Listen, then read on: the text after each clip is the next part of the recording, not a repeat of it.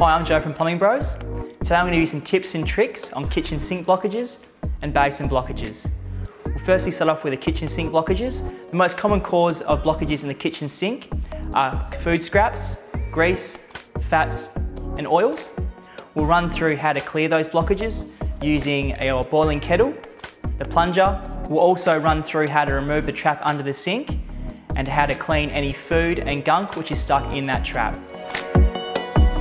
So a simple trick you can try at home is by pouring some boiling hot water down the kitchen sink.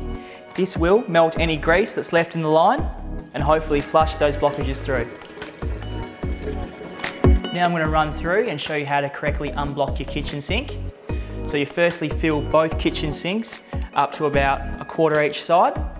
You're making sure, because it's a double bowl sink, that you have one of the plugs fully depressed at all times. If you don't and you plunge, this will create an airflow from one side to the other and won't clear the blockage at all. So you grab your plunger, you release one side, one plug, while holding this side here down, and you plunge.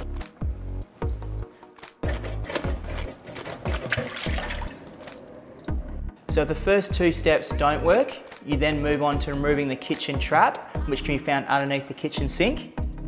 So you remove the nuts from the kitchen trap, remove it all together. You'd empty the contents into the bucket here. You then make sure it's all clear.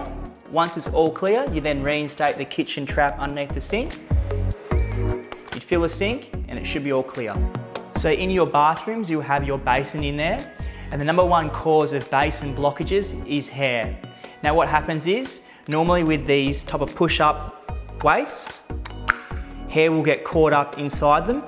And all you have to simply do is remove the top section by unscrewing it, which will then give you access to the base underneath that. And all you do is remove any hair which is caught up in this base section here. So that was three helpful hints on how to clear your kitchen sink. I hope that was helpful. Thanks for watching.